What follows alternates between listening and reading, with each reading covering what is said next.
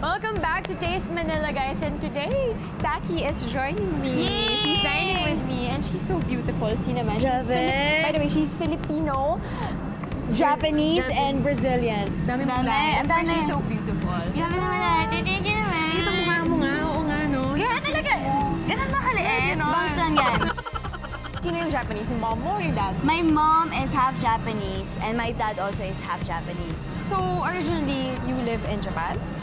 Um, I was born there, but raised in Paris. passport mo. Medyo super swerte.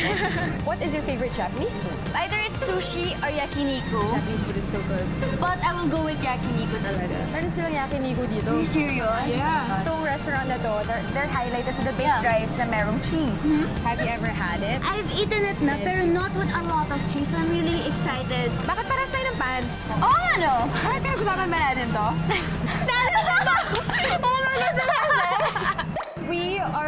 try tori chizu. Ano ba itong tori chizu? Japanese term So, ba to? Japanese story is chicken. Chizu. I mean, it's a cute way of saying cheese. Di ba yung speak ni Hongo? Not fluently, unfortunately. Ah, oh, Mas magaling pa ang kapatid ko eh. And he's six. She speaks four languages. Tama ba? Yeah, I mean three and a half. Kasi Japanese half lang. Galing. so, you speak ni Hongo? Tagalog, English, and French. What is cheese in French? Fromage. Can you speak to me in French? I like people speaking in French. They sound so sexy. Oh, me sexy, thank you. Charot. Um, Bonjour, je m'appelle Taki et euh, merci de m'avoir invité au restaurant aujourd'hui. Marry me. Wow! Okay, let's go. Okay, let's go inside.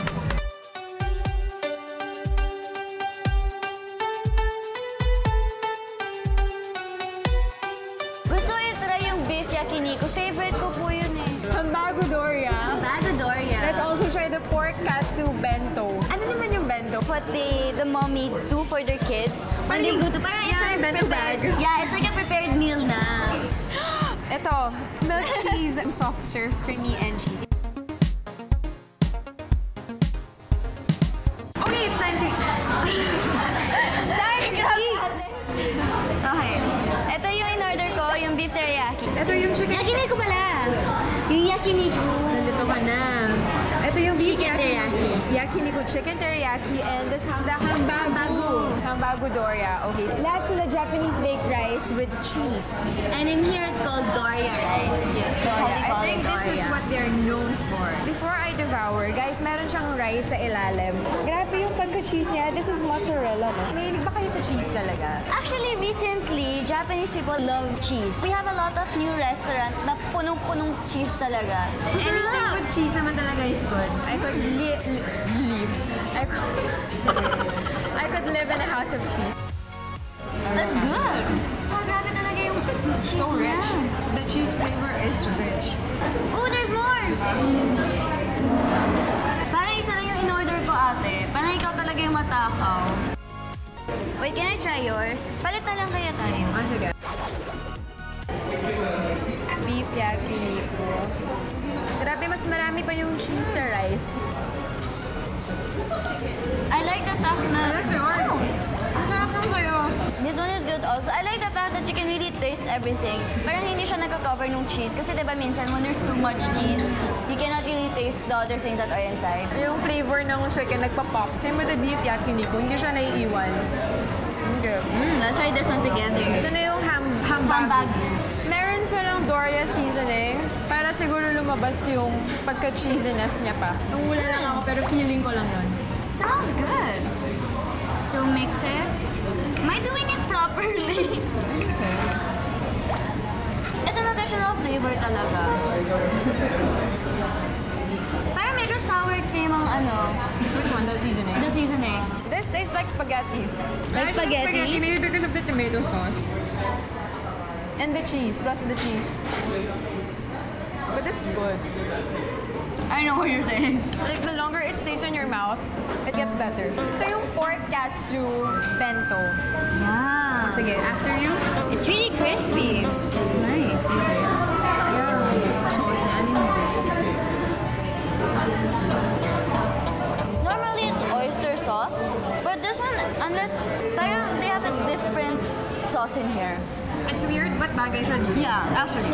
Yung mga chicken nila, they marinated for 24 hours, kaya super umaming-umami yung flavor niya. Oh my, oh, are we gonna try that? Ano Oh, it's this one. Umami is a flavor. So, this is umami. Masyado siyang mapula, so feeling ko sobrang spicy nito. They top the rice with seaweed. It's spicy. It's a little bit too spicy for me ate.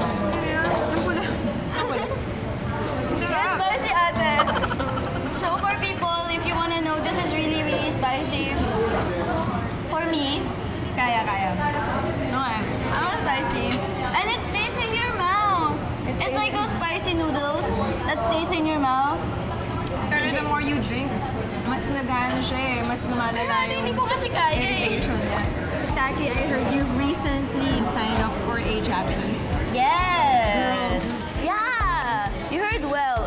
Months ago, parang I joined a Japanese group called Fakey. Like, I'm sure like everyone knows like Japanese groups are like, you know, those really cutie cutie. But like us, we're more like the other. Parang our songs are more urban. Kaya mong sayawin talaga. And usually they're not quite cute. Wala ka bang ready na song dyan? Medyo na ano yung voice ko so spicy, pero hindi pa siya ready. So you'll be moving to Japan for good. Yes. So basically, this is just a vacation for you. Yes. Wow.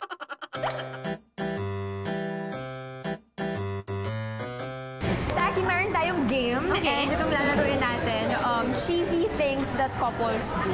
Madali ka bang ma-cheesy hand sa mga ginagawa ng mga couples? I actually like it kasi, right, especially sa generation natin, parang masyado yung mga clingy-clingy. That's true. Parang, so I like seeing cheesy couples, especially yung like, yung mga lolo at lola. Wearing a couple shirt, yeah, I guess it's cheesy.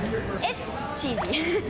it's a chill, little cheesy. Sharing one FB account, that's not cheesy, that's weird. Hindi ko naman kaya yun. Diba? Parang Like, no privacy? Privacy, like meron kayong own world. Bakit kailangan mag-share kayo ng one FB account? exactly. Wala bang trust? wow, may hugot lang. Dami Wait lang, wait lang. Akit muna tayo, akit muna tayo. Lahat na lang nakikita mo. Lahat na magme-message sa... Like, sino yung message ang ng hirap tao? naman. Diba? Like, your friends doesn't know who they're messaging. Is it you or your partner? Diba? Couple tattoos. I Like, wouldn't. um, Hindi ko kaya. I wouldn't talaga. So, no. I'm not judging or disclaimer. For me, kasi parang nadjinx yun eh. Like, ang dami kong friends na nagpapatat sila, tapos yung mga name ng, name ng mga boyfriend or girlfriend, tapos they end up breaking up. Documenting all activities, even random ones, and uploading them on social media. I think it's not cheesy. I think not- it's normal. Yeah, it's normal. Like, I saw a tweet about this particular issue. Parang sinabi niya na leave them alone yung mga gustong mag-post or gustong mag... Yeah. Um, you know, like, gusto magpaka-cheesy. Don't judge them. At saka parang time with each other. Let those couple do whatever they want. Yeah. Diba? Like, we have freedom. Keeping a week... Grabe naman yung week sarili. Yeah, Matsuri! Ang daming regalo naman, no? Yun nga, medyo hindi siya cheesy mag-gastos siya eh. It's not an achievement if you reach Yeah. a week. Kasi, anong relationship yun? Week lang nag-last?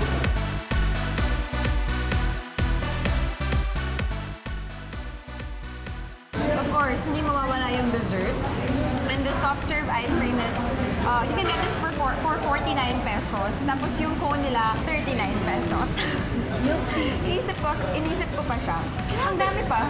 Grabe, ang sarap niya! Diba? As in, literally, It's so ang sarap creamy niya. it's so cheesy lang. talaga. Mm. What is your favorite among all the dishes?